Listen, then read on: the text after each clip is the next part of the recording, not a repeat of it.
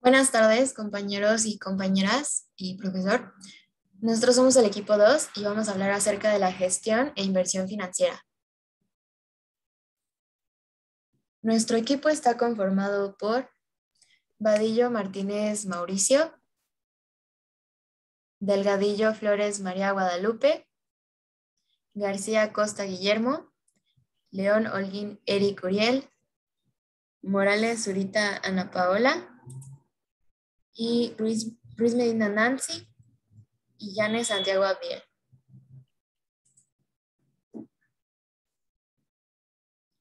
Bueno, eh, ¿qué es la gestión financiera? Es el conjunto de actividades que controlan, utilizan, administran dinero y otros recursos. Eh, los objetivos de la gestión financiera se formulan como el resultado deseado de la actividad financiera de la empresa, asegurando el logro de sus objetivos empresariales. Cada individuo pone la parte que le toca y trabaja en equipo coordinados. Si uno del equipo no trabaja o no hace su parte, ya sea individualmente como en equipo, puede que se vea afectado a la empresa. La gestión financiera se encarga de definir cómo la empresa financiará sus operaciones, para lo cual usualmente se requieren recursos propios y de terceros. Dentro de, lo que es la gestión financiera están los objetivos, que es maximizar el valor de la empresa, minimizar los costos y el aprovechamiento de la capacidad instalada. Es mejorar su bienestar eh, de los propietarios de la empresa y aumentar el capital invertido por los propietarios, que son los accionistas de la empresa. El desarrollo y la aplicación de métodos, y medios e instrumentos de apoyo financiero para lograr los objetivos de la empresa en su conjunto, así como sus vínculos productivos y económicos por separado. Dentro de la gestión financiera está de igual manera la administración financiera, que es la función encargada de la gestión económica financiera de los negocios. Las tareas de la gestión financiera está determinada de las medidas concretas que deben aplicarse para alcanzar los objetivos de la gestión financiera de la empresa. La primera sería encontrar el, equilibrio entre los objetivos de desarrollo a largo y corto plazo de la empresa y las decisiones adoptadas en la gestión financiera, la toma de decisiones para asegurar el movimiento más eficiente de los recursos financieros entre la empresa y las fuentes de financiación. La determinación de prioridades, que es la búsqueda de compromisos para la combinación óptima de los intereses de las unidades de negocio, el análisis y planificación financiero para el conjunto de las tareas de la actividad económica de la empresa, incluidos los activos de la empresa y las fuentes de su financiación, el suministro de recursos y la distribución de esos recursos financieros. Siguiente, por favor. Dentro de la empresa está pues, la empresa, que es la unidad económica social compuesta de humanos técnicos y materiales que su objetivo principal es cumplir con el objetivo del cliente. ¿Qué es lo que quiere el cliente? Y lo que la necesidad del cliente. Las formas jurídicas en las empresas a individuales y las colectivas. Los accionistas, que son los propietarios de la corporación y cuya propiedad se demuestra detrás de las acciones. El Consejo de Administración, el cual representa las, los accionistas y reside la autoridad máxima de la empresa. Este es el desarrollo de metas y las estrategias que van a hacer dentro de la empresa el presidente CEO. Y este usa las presentaciones, son herramientas de comunicación igual que se pueden usar. Este, la vice, el vicepresidente de, de finanzas, quien es el encargado de, pues es como en el segundo del mando, aparte del presidente del CEO. Este, al igual que el CEO, son los encargados que se va a ver si realmente está funcionando la empresa y cómo, qué estrategias van a utilizar. Dentro de la empresa están los estados financieros. En los estados financieros están los activos. Los activos están divididos en dos, que son los circulantes y los no circulantes. En los, en los activos circulantes se encuentran las cuentas que el negocio o la entidad utilizan para trabajar y lograr un beneficio económico. Se emplea para realizar intercambios y generar beneficios económicos, por ejemplo, la caja, los bancos y las mercancías. En los activos fijos o activos no circulante es el grupo de cuentas los valores que representan que no son utilizados para las transacciones cotidianas y son indispensables para el funcionamiento de la entidad. Eh, por ejemplo, los bienes muebles, inmuebles, la maquinaria, los medios de transporte, etc. Y también está el activo diferido. Esta clasificación pues, se refiere a lo que tiene la empresa y que no se pueden considerar gastos hasta que pase el tiempo por el cual se tuvo por objetivo la inversión, ya sea las rentas pagadas por anticipado, eh, los gastos en papelería. Está el capital, igual que es este, el capital está dividido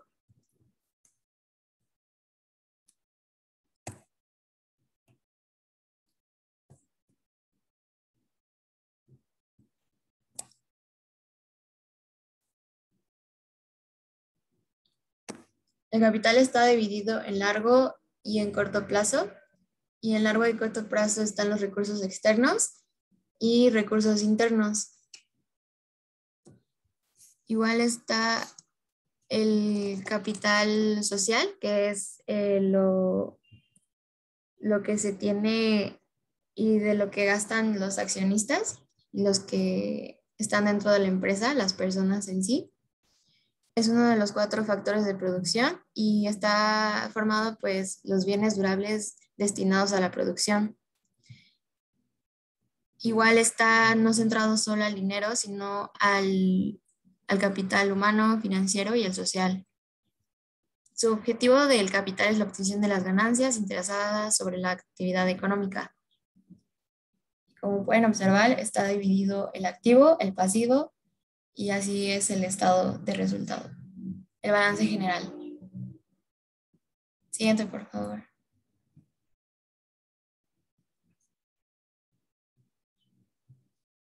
Las secciones del estado de flujo efectivo están las operaciones, la inversión y el financiamiento. Las operaciones son todo lo que está directamente relacionado con empresa. La inversión es lo relacionado con adquisición de activos fijos e intangibles y el financiamiento es lo relacionado con la obtención y pagos de pasivos. Siguiente, por favor. Ok, ahora les hablaré de los riesgos. Identificar las amenazas a tiempo es lo primero que debe realizar un gestor de riesgos financieros para conocer a fondo los factores que podrían llevar a la empresa a tener la toma de decisiones. Para emprender un camino de negocios, Primero hay que conocer los riesgos financieros a los que se puede estar expuesto en una compañía para así poder estar preparados ante cualquier contingencia y permanecer en el mercado. Si una organización no elabora un análisis de riesgos para evaluar las amenazas y los impactos, no podrá reaccionar a tiempo ni mucho menos prevenir efectos negativos, como dañar la imagen de la empresa e incluso llevarla a la quiebra. El estudio, financiero es una de las variables más importantes a tener en cuenta en todas las empresas. Si bien su cálculo depende de diferentes factores, mantener un muestreo estadístico ayudará a que los eventos se den lo más apego posible a los planificados por la dirección financiera de una empresa. Existen varios tipos de riesgo, los cuales les hablaré del riesgo de liquidez, riesgo de crédito, riesgo de mercado, riesgo operativo u operacional. El riesgo de liquidez, este tipo de riesgo es probablemente la base del resto de inestabilidades financieras que una empresa puede sufrir. Se, produce cuando una de las partes no posee la liquidez suficiente para hacer frente a sus compromisos de pago a corto, mediano o largo, o largo plazo. Una de las causas más comunes está relacionada con la mala gestión de flujo de caja, por lo que se debe prestar atención a la liquidez para asegurar que se cuenta con el flujo suficiente para saldar los pendientes. El siguiente sería el riesgo de crédito se da cuando una de las partes no asume sus obligaciones. Por ejemplo, sería cuando un comprador consigue un préstamo para comprar una casa y, se compromete a devolver ese dinero recibido con un interés adicional. El riesgo de crédito va vinculado a la probabilidad de que no se pague la deuda. El siguiente riesgo es el riesgo de mercado. Tiene un alcance amplio ya que corresponde con la dinámica de la oferta y la demanda, guardando relación con la volatilidad del mercado en el cual se invierte. En concreto, este riesgo se refiere a la posibilidad de que un acreedor no reciba pago de un préstamo de, o de que lo reciba con atraso. En este riesgo entran en juego, además, la variación de los precios de los activos pasivos y los derivados que sean parte de las fuentes de riesgo. El último sería el riesgo operativo u operacional, una de las clases más difíciles de cuantificar de forma objetiva, ya que está vinculada con las pérdidas ocasionadas por errores operativos. Este riesgo se da, mm, por ejemplo, por problemas de carácter tecnológico, errores humanos o falta de controles dentro de la empresa, entre otros. Todos estos riesgos se pueden prevenir si se tiene en cuenta un riesgo puntual como el daño de máquina que puede desencadenar, otros contextos como retrasos en las entregas. Siguiente, por favor.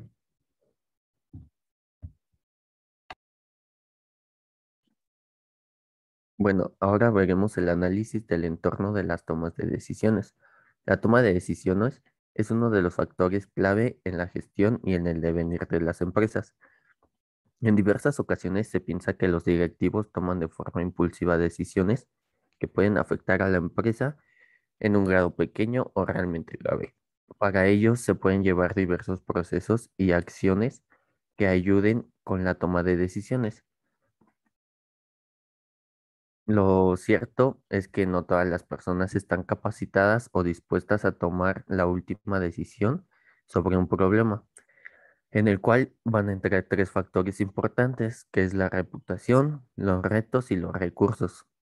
Las personas deben de tener este concepto ya que la empresa no solo asume un gran reto, sino en la que también invierte una gran importante cantidad tanto de recursos humanos y de recursos materiales. Las personas que tomen las decisiones deben de considerar que en ocasiones juega hasta la reputación ajena y la propia. Esta puede ser también tanto para bien o tanto para mal. Ahora bien, ah, para llevar a cabo el análisis sobre la toma de decisiones, sirve de gran ayuda el famoso FODA. En este caso, lo podemos orientar hacia la, hacia la empresa. Dentro de las fortalezas entran elementos internos y son positivos de la empresa. Estos van a permitir que sea competitiva en el mercado. Pueden ser tanto recursos, destrezas, capacidades, habilidades y actitudes. En las debilidades son elementos internos y son negativos de la empresa, pero que representan una barrera para que se pueda desarrollar adecuadamente sus actividades y que la ponen en una situación desfavorable frente a la competencia, pero que a la vez pueden representar un área de mejora. En las oportunidades van a ser elementos externos que resultan positivos en la empresa se generan en el, entorno de dicha organización y pueden ser aprovechados por esta para lograr una ventaja frente a su competencia. Finalmente tenemos a las amenazas, donde van a ser elementos negativos y son externos. La hacen vulnerable frente a su competencia y atentan contra su permanencia en el mercado. Una vez conociendo estos factores de nuestra empresa, podemos realizar el proceso a realizar. dentro de este proceso van a, ser, van a haber diferentes etapas y primero vamos a definir el problema a solucionar. Lo vamos a analizar y posteriormente evaluaremos las opciones de solución. Después vamos a delimitar la opción elegida y la vamos a aplicar en la toma de decisión. Finalmente, hacemos un seguimiento sobre cómo se va desarrollando el resultado. Y bueno, normalmente se desarrolla un plan B y en ocasiones hasta un plan C, por si el primer plan no llegase a funcionar. Por otro lado, les voy a comentar sobre el ciclo de vida en la industria. Eh, como primera etapa se encuentra la introducción. En esta etapa se implica el desarrollo de un nuevo producto o servicio en el mercado. Como segunda etapa vamos a tener la etapa de crecimiento, donde el producto o servicio llama la atención del mercado, lo consumen y hace que la demanda crezca rápidamente. En la tercera etapa, que es la madurez, se desacelera este crecimiento, se reducen los costos y el producto o servicio ya está aceptado por sus consumidores. Como última etapa tenemos la de decadencia. No todos pasan por esta etapa, ya que si saben llevar buenas estrategias, se pueden mantener en la etapa de madurez. Sin embargo, en esta etapa se tiene un impacto que hace el producto o servicio que salga del mercado.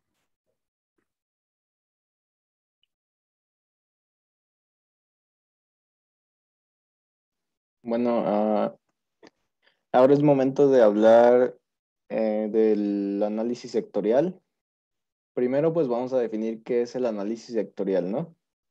El análisis sectorial, pues, es el estudio de la situación de un determinado sector de producción, de distribución y consumo de bienes y de servicios y productos de un país y también pues habla de los elementos que lo componen teniendo en cuenta diversos factores como el entorno público y del gobierno, también depende mucho de su estructura social, de su población, de sus elementos históricos y de la situación económica en la que se encuentre una determinada compañía o incluso podemos llevarlo a un nivel más grande que es un nivel estado, ¿no? Entonces, básicamente nuestro, la que sigue, por favor. Nuestro análisis sectorial nos permite conocer el nivel de competitividad que tiene una empresa dentro del sector en el que compite.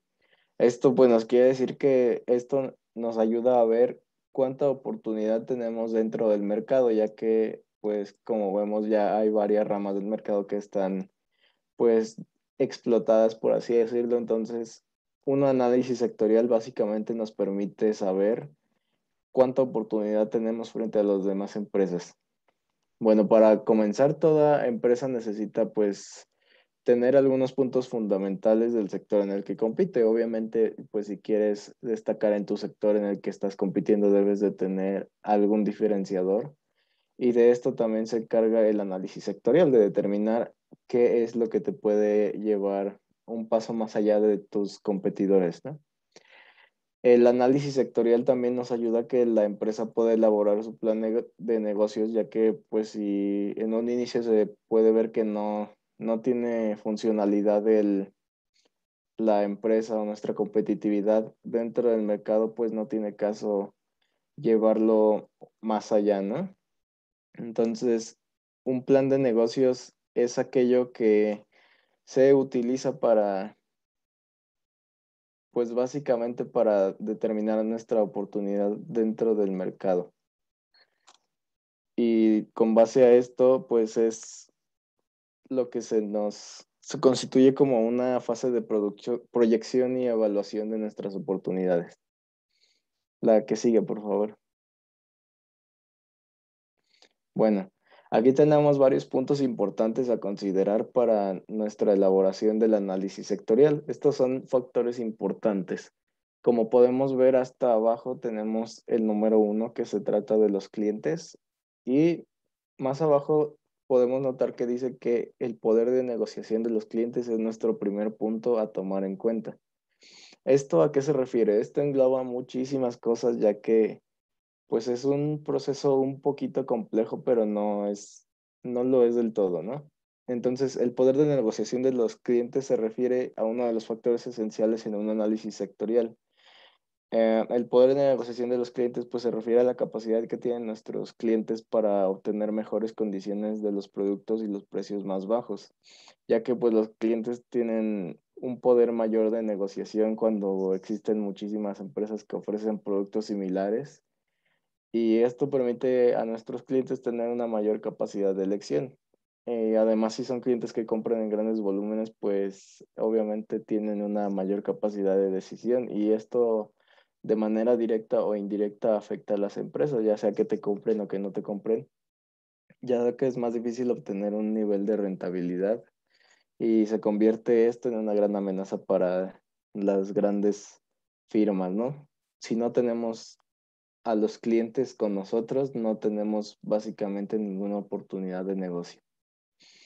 Como segunda instancia tenemos a los proveedores. Esto se refiere a nuestro poder de negociación de los proveedores, discúlpenme. Y contraparte de lo que dijimos de los clientes, los proveedores tienen mucho poder de, de, negociación también, ya que pues ellos tienen la capacidad de proveernos nuestros productos como su nombre lo indica. Y pues sin ellos tampoco podría subsistir nuestra empresa, pues ya que ellos deciden también si te pueden cobrar precios más altos o te pueden dejar precios preferenciales, etcétera. Mientras menos proveedores existan en un mercado, pues tienen mayor poder de negociación. También puede ser una amenaza para la empresa cuando existe muy poca oferta de proveedores, ya que hay pues pocos productos de insumos y pues a lo cual la empresa compra en pequeñas cantidades a los proveedores, pues los proveedores aumentan su poder de negociación e incluso ellos podrían adquirir el mercado que están obteniendo sus acreedores, ¿no? Cuando se enfrenta a este problema, pues es recomendable que las empresas elaboren sus propias materias primas para tener asegurado su, su suministro y pues esto nos da la oportunidad de tener asegurado un bajo costo de producción y tener nuestros productos siempre listos para la venta, ¿no? Y a no depender tanto de los proveedores. Tenemos como tercera instancia la amenaza de entrada de nuevos competidores, ya que pues nuestros competidores en el mercado, la competencia está determinada por un nivel de inversión requerido y pues un, un mercado resulta más atractivo cuando el nivel de inversión requerido resulta más bajo que el costo del capital. Y pues asimismo un mercado es más atractivo mientras menos barreras de entrada existan, o sea que haya muy pocos sectores competitivos, ¿no? Naturalmente, pues existen barreras como los impuestos, la dificultad de acceso a los canales de distribución, etcétera, etcétera, etcétera. Pero mientras mayores barreras existan, menor es el nivel de amenaza de competencia. Es decir, que si tú adquieres un mercado que tiene todas estas características, pues es muy poco probable que lleguen competidores a tu, a tu mercado, ¿no? Precisamente porque es un poco complicado. Como, como cuarta instancia tenemos, uh, tenemos el aparecimiento de productos sustitutivos. Eh, un producto sustituto pues es un fuerte competidor en el mercado de bienes y servicios. ¿Esto qué quiere decir? Se refiere más que nada como a piratería, ¿no? Si tenemos un producto a la venta y otro negocio se dedica a sacar un producto igual y a menor costo, pues obviamente es una amenaza para nuestro producto porque la gente se va a ir por la relación del precio y pues obviamente nos van a comprar mucho menos de nuestros productos. Así que este, debemos de tratar de manejar los precios más accesibles para poder atraer más clientes, ¿no? Y pues finalmente como quinto punto tenemos la rivalidad entre los competidores. Ah, pues por último, la rivalidad entre los competidores es el aspecto más importante cuando se realiza un análisis sectorial, ya que pues esto permite elaborar una mejor definición de nuestro sector al que vamos dedicados para poder encontrar oportunidades de negocio. La rivalidad entre los competidores pues se vuelve más intensa cuando hay cuando hay baja demanda de los productos, ¿no? Ya que pues, todos tienen las ganas de vender esos productos y obviamente todos van a imponer sus estrategias para ser los ganadores de la clientela, ¿no? También hay mucha rivalidad cuando no, no existe mucha diferenciación entre los productos o cuando se tienen costos fijos muy altos y también cuando hay un gran número de competidores. Ahora bien, el grado de rivalidad entre los competidores es determinante para la obtención de utilidades dentro de un sector y mientras más rivalidad existe, menor será el grado de rentabilidad de nuestro negocio. Pues a menor rivalidad, mayor será la posibilidad de obtener mejores beneficios y por esta razón, pues se debe usar que las empresas innoven y mejoren continuamente sus productos, ya que solo así se puede mantener una ventaja sostenible. Ya para concluir del análisis sectorial, se puede afirmar que el análisis sectorial es una herramienta muy útil que nos sirve de guía a las empresas para poder desarrollar una ventaja competidora y sostenible también frente a nuestros competidores. Y mientras mayor sea la información del sector en el que compite una empresa, pues mayor será la rentabilidad de diseñar mejores estrategias que ayuden a aprovechar las oportunidades de negocio, ya que pues de la misma forma se pueden enfrentar mejor las amenazas y todo en conjunto pues permite mejorar la productividad y la posibilidad de éxito para las empresas. Y ya la que sigue, por favor.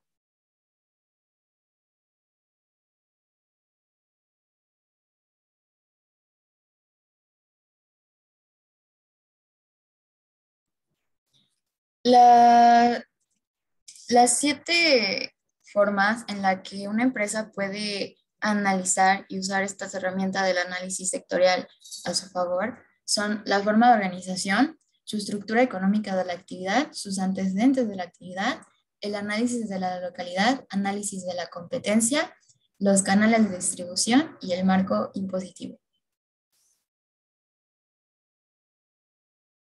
Siguiente, por favor. En la forma de organización, eh, se usa para definir la organización empresarial y es necesario empezar por fragmentar la empresa en varios segmentos para asimismo sea aún más fácil el análisis de toda la empresa. Estas después se relacionarán entre sí en relaciones jerárquicas, ya sean las verticales u horizontales. La división debe realizarse siguiendo criterios como los siguientes, los geográficos por funciones, por, productos o servicios de cliente o proyecto. Los geográficos en, empresas que funcionan ya en mercados muy amplios, se da la segmentación geográfica y cada uno de los segmentos de la empresa pertenece a un área y actúa conforme al área en la que, en la que está. Por funciones, muchas empresas definen las secciones de la empresa según las funciones de sus departamentos. Y esto les permite a cada área la especialización pues, de su área y que por igual en este ámbito pues, sea aún más fácil y efectivo dentro de la empresa. Por productos o servicios, las compañías o empresas que ofrecen las líneas de productos o servicios son muy diferentes entre sí. Suelen organizar sus equipos en torno a cada línea de producto o servicio.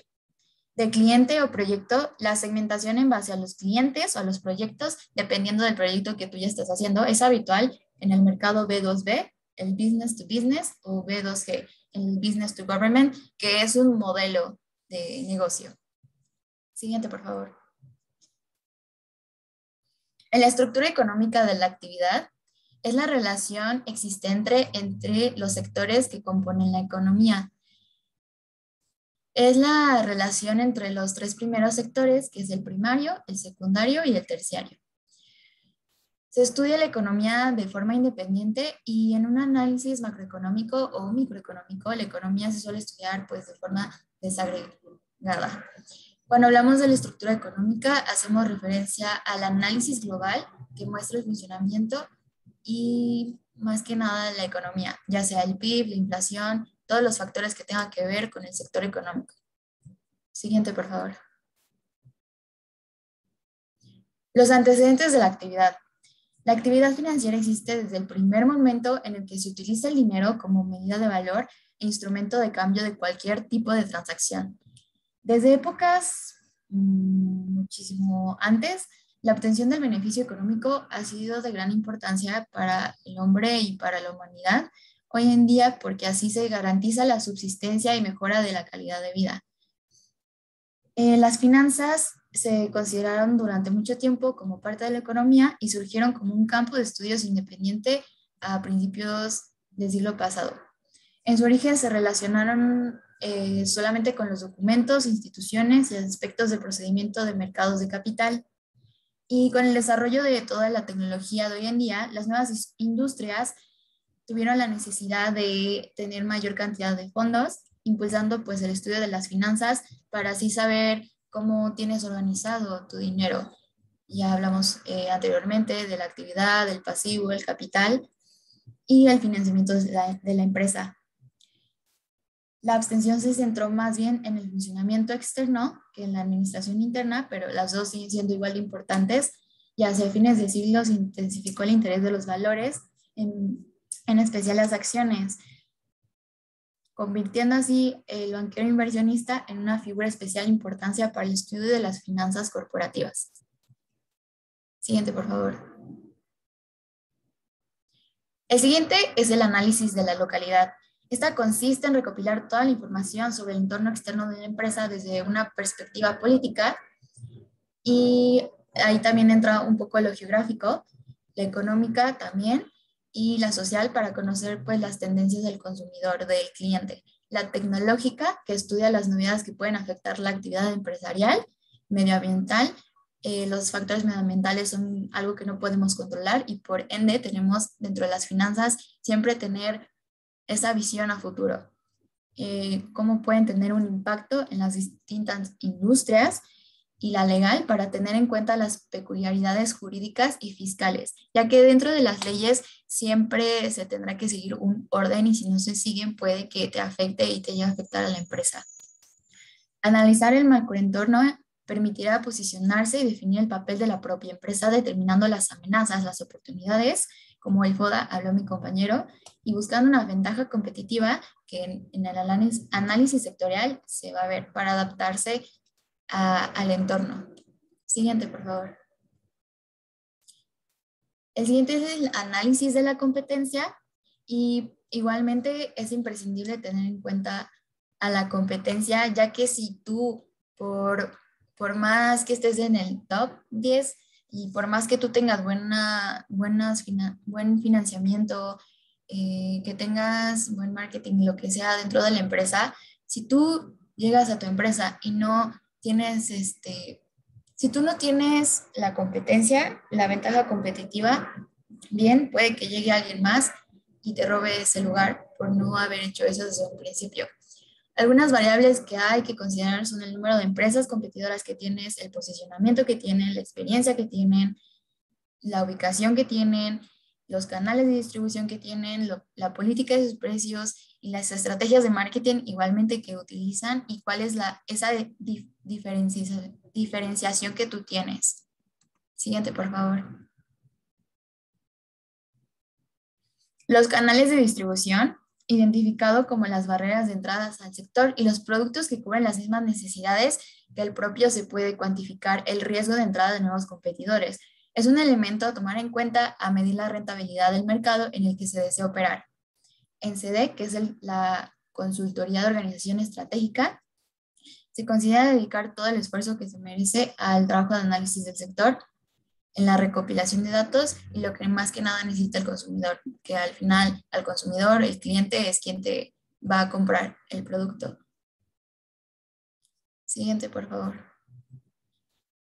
Por último, el marco impositivo es un impuesto, es un tributo cuyo pago resulta obligatorio y el acreedor tributario no ofrece una, una contraprestación específica o directa a cambio de ese dinero que se cobra. Se conoce como sistema impositivo al conjunto de las normas y medidas que le permiten al Estado obtener ingresos tributarios, que son ingresos que tú tienes que tomar en cuenta dentro de tu balance general, y los fondos recaudados posibilitan el financiamiento de los gastos públicos. Siguiente, por favor. Ahora les hablaré respecto a las razones. Hay tipos de razones que son razones financieras, de liquidez, de actividad, endeudamiento y rentabilidad. Las razones de liquidez miden la capacidad de la empresa para cumplir sus obligaciones. Eh, la tasa de apalancamiento mide el grado en que la empresa se ha financiado por medio de la deuda. Y la, actividad mide la efectividad de la actividad empresarial, que es la rotación de inventario, que es las ventas sobre los inventarios y el activo total, que es la tasa que mide la actividad final de la rotación de todos los activos de la empresa y la rentabilidad, que es el resultado neto de un número de políticas y decisiones. Siguiente, por favor. Hola, yo les voy a hablar sobre las razones a partir de la cotización. La primera es el valor contable de la acción esta consiste en esta, esta establece el precio teórico de las acciones a partir de los datos de los registros contables en caso de que la empresa finalice su actividad y haya que liquidarla. La siguiente es la capitalización bursátil, CB por sus siglas. Esta es una medida, una medida económica que se calcula multiplicando el precio de la acción por su número total de acciones en circulación. Ah, siguiente, por favor. Siguiente. Siguiente, por favor. La utilidad por acción.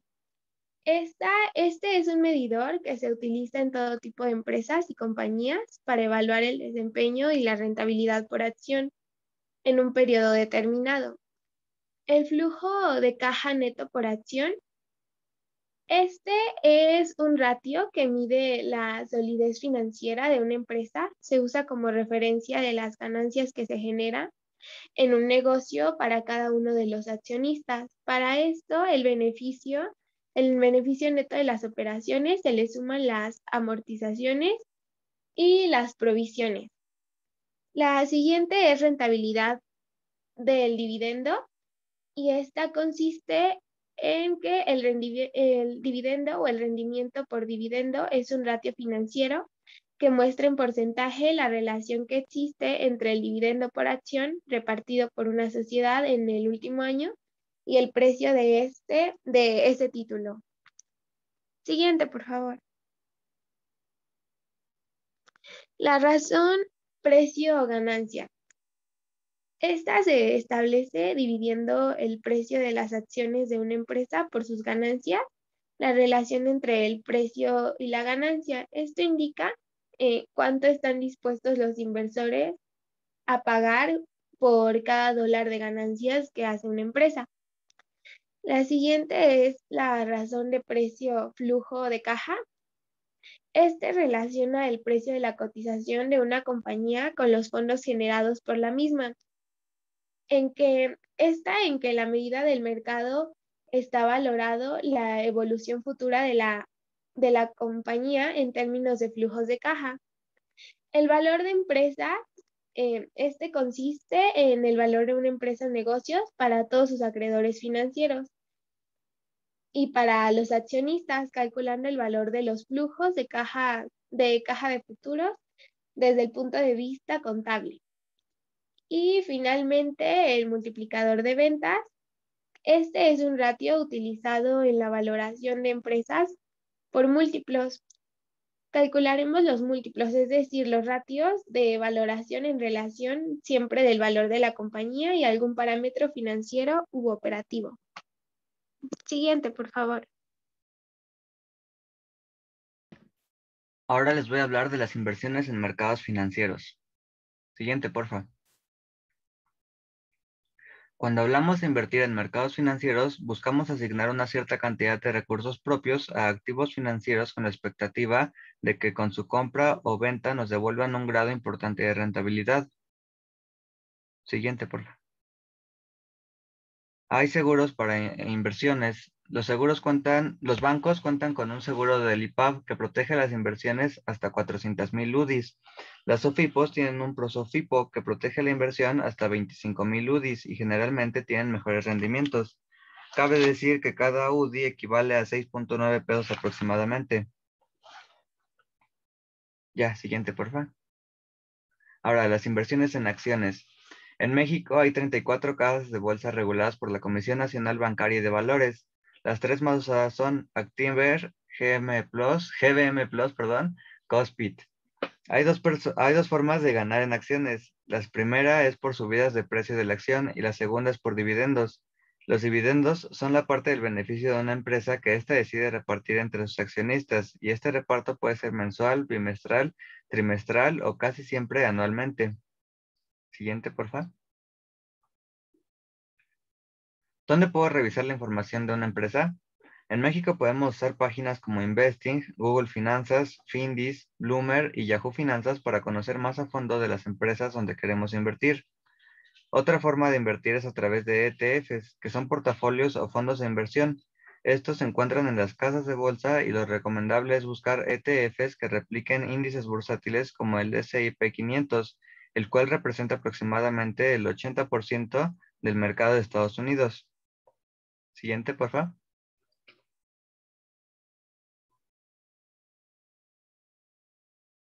Ok, ahora les hablaré de los tipos de mercado. Eh, los mercados financieros son un tipo de mercado junto con el mercado de productos de consumo, el mercado de productos de uso, mercados de servicio y el mercado de productos industriales. Los tipos de mercado hacen referencia a las diferentes formas como se pueden clasificar los mercados de acuerdo con diferentes variables. Los mercados financieros comparten la misma característica entre ellos, y es que son espacios físicos o virtuales en donde se intercambian activos financieros entre agentes económicos y en el que se definen los precios de dichos activos. Hay una clasificación, hay una clasificación simple que sería el mercado de capitales y el mercado monetario. A su vez, tienen tres sub, subtítulos que serían del mercado de capitales, mercado monetarios interbancarios, mercado de activos empresariales, mercado de derivados financieros. Y del mercado monetario se divide en mercados monetarios interbancarios, mercado de activos empresariales y mercado monetario de deuda pública. El mercado monetario es el conjunto de mercados al por mayor donde se intercambian activos financieros de corto plazo. Sus participantes son grandes instituciones e intermediarios financieros especializados. A su vez, podemos dividir el mercado monetario en tres. Mercado monetario interbancario, que en este mercado las entidades financieras realizan operaciones de préstamo y crédito mediante depósitos, interbancarios derivados de corto plazo, swaps de tipo de interés a corto plazo u otros activos financieros, generalmente con vencimiento de un día o una semana. El, el, siguiente es mercado de activos empresariales, que en este mercado destacan los pagares de empresas cuyos instrumentos de deuda son emitidos por empresas a corto plazo e incorporan una obligación de pago, cuya garantía de pago son ellas mismas. Es por tanto una forma de financiación empresarial. El siguiente sería el mercado monetario de deuda pública. En este mercado es en donde se negocia la deuda pública de corto plazo emitida por el Tesoro de un país, conocida como letras del Tesoro. Para ello, el Tesoro emite una serie de subastas anuales, previa comunicación del calendario. Por último, están los mercados de capitales. El mercado de capitales es aquel al que acuden los agentes del mercado para financiarse a medio y largo plazo superior a 12 o 18 meses. Al negociarse activos a más largo plazo que en el mercado monetario, incorpora obviamente un mayor riesgo. Eh, podemos dividirlo en dos tipos de mercado, que es el mercado de renta fija, que se negocian títulos de renta fija, bonos, letras, etc. Y por, tanto, su, y por tanto su poseedor es un acreedor de la empresa emisora. Por eso también se conoce como mercado de crédito. El siguiente es el mercado de renta variable que se negocia en acciones. A este mercado popularmente se le conoce como la bolsa. Para ello, las empresas que cotizan en la bolsa dividen su capital en partes y a eso es a lo que se le denominan acciones, participaciones en el capital de las empresas. El último es el mercado de derivados financieros. Son mercados derivados donde se negocian productos financieros que tienen como subyacente otro tipo de activo, ya sea financiero, acciones, por ejemplo, o no financiero, que serían eh, las materias primas. Por tanto, los derivados pueden tener como activos subyacentes activos tan diferentes como una acción, un bono, un tipo de interés o una materia prima. Al ser un mercado tan amplio y con, tan, y con tanta variedad de producto, a veces se clasifica de forma separada de los mercados capitales. Los dejo de nuevo con mi compañero Abdiel.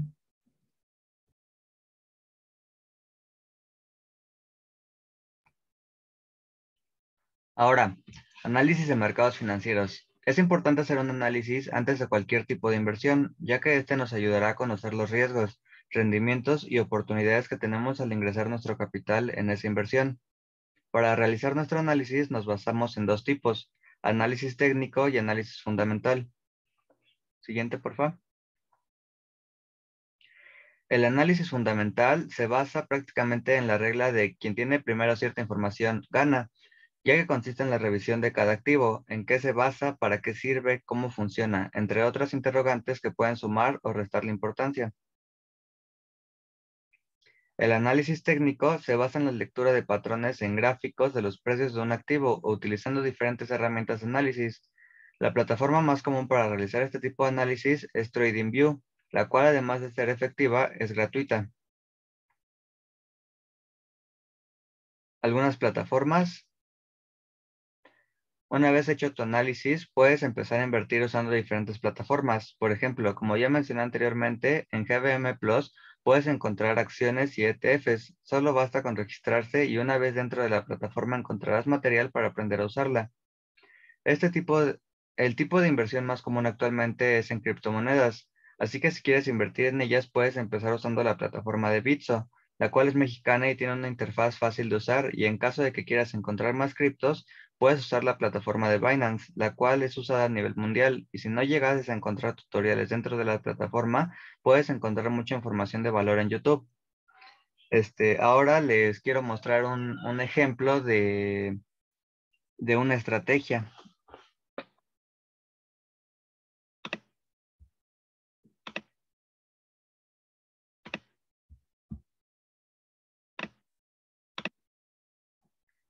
Em, aquí eh, estamos viendo una gráfica de una criptomoneda llamada Ravencoin, la cual está guardada en Binance. Em, esta raya que ven aquí, fíjense, les encierro. Esa raya que ven ahí es la marcada de el asta de un banderín. Las dos rayas que ya tapé ahorita, pero aquí se deberían de ver, son esta y esta, es lo que marca el banderín. Cuando este banderín va formado hacia abajo, significa que va a haber una ruptura en algún momento y esa ruptura nos va a llevar como está esta flechita hacia arriba. Ahora, este es el gráfico. Cada una de estas rayitas se llaman velas. Hay diferentes formas de apreciar un gráfico, pero esta es la más común y más fácil de entender. La parte morada que ven acá abajo, la gráfica morada que ven acá, se llama RCI y este es un indicador para encontrar otras medidas de precios. Cuando el RCI está sobrepasado del nivel, como en esta parte, es porque el precio ya, ya alcanzó un nivel muy elevado y ya tiene que, que bajar para que puedan entrar más compradores. Ahora, cuando el precio ya alcanzó un nivel muy bajo, como acá, es cuando muchos compradores empiezan a, entrar al, mercado y este vuelve a retomar su subida. También en esta estrategia se basa en divergencias. Divergencias es cuando en, la gráfica normal hay una, mm, hay una diferencia en, en la subida o bajada de precios en comparación al RSI. Aquí podemos encontrar una. Eh, aquí está marcada la divergencia y está marcada por arriba. Cuando las divergencias van marcadas por arriba, significa que el precio va a ir hacia abajo. Y cuando una divergencia está marcada hacia abajo, en este caso no hay, pero si una divergencia está, por ejemplo, aquí y acá el precio va hacia arriba, entonces el, el precio de, de la criptomoneda va a subir. Y con esto termino de, enseñarles esta, esta, este ejemplo de estrategia. Cabe recalcar que no soy un experto, pero esto lo aprendí hace un tiempo.